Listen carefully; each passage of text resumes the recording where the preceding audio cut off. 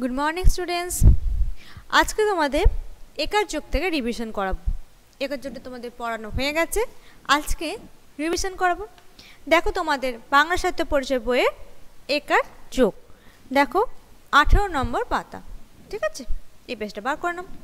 দেখো, একার, তোমরা জানো, শিখে গেছো লিখতে। তাও আমি বলছি, দেখো, আমার সাথে তোমরা দেখো, এটা এ। এর যেটা কার রূপ, কীরকম এটা কার মানে? যে স্বরধ্বনিগুলো রয়েছে, তার সংক্ষিপ্ত রূপ, তাকে ছোট করে দেখানো হয় এইভাবে। এটা হচ্ছে একার এ কি?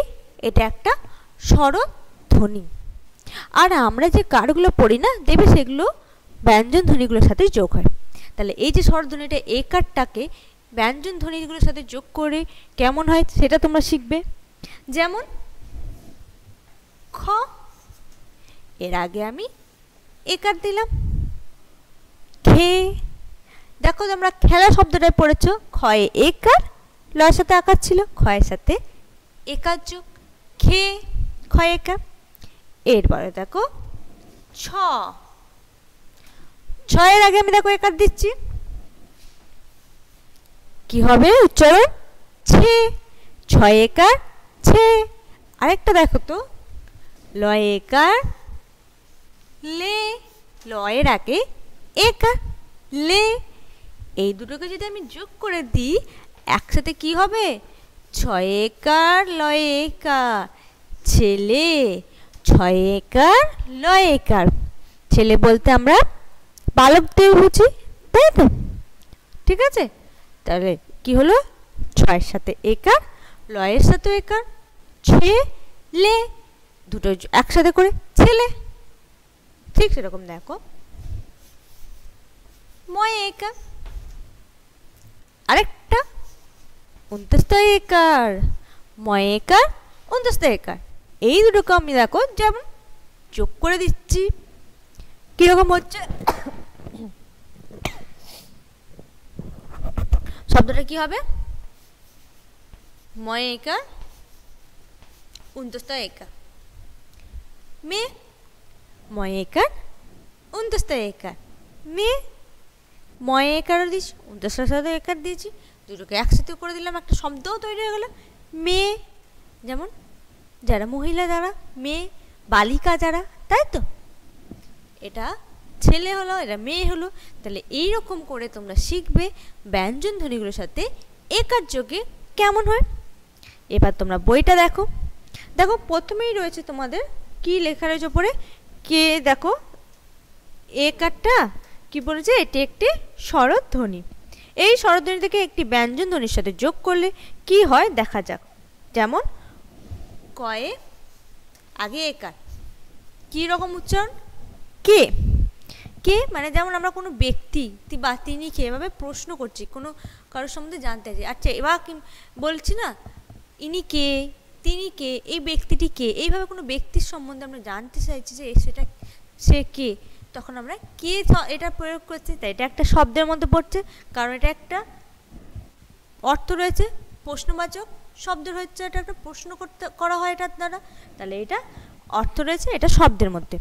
তারপর ক্ষয়কার, খে, গয়কার, গে ক্ষয়েকার ঘে, এইগুলোর একটারও অর্থ পাবে না, তাই এগুলো একটাও শব্দ নয়। এরপরে নেক্সট লাইন দেখো।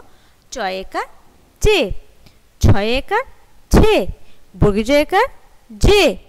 ঝয় একার ঝে এইখানেও দেখো, একটারও তোমরা অর্থ পাবে না।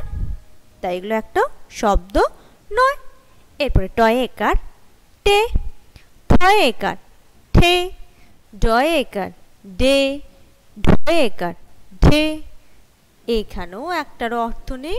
তো এগুলো একটাও শব্দ নয়। তারপরে নেক্সট লাইন তয় একার তে থয় একার থে ডয় একার দে, ধয় একার থে এই অবধিও তোমরা দেখলে কোনো অর্থ পাওয়া যায় না এগুলোর, এগুলো শব্দ নয়। এরপরে নেক্সট দেখো দন্তনায়িকার নেই এটাকে কিন্তু শব্দ বলতে হবে, এটা না বোঝাচ্ছে নঙর্থক না বোঝাচ্ছে যখন, তখন নে। এটা দেয়া হয়।